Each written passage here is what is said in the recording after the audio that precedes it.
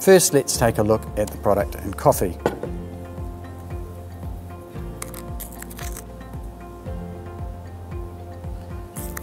So you'll see that it sinks into the coffee really, really well and it's very, very easy to mix.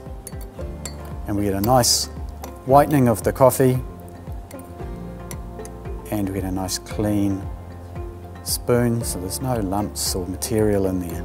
And that's really important consumers to feel like they're having a good product. Next, if we take water, the product also mixes in well. It's an instant product, mixes in well in water.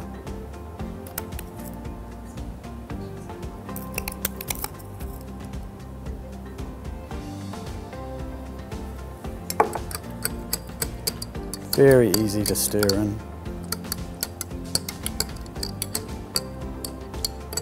And we get a nice clean glass and clean spoon. And that's, that's what the consumers want to see. This powder has become very popular with comments that we get from consumers that it's creamy tasting in coffee and tea and it makes a tasty milk drink.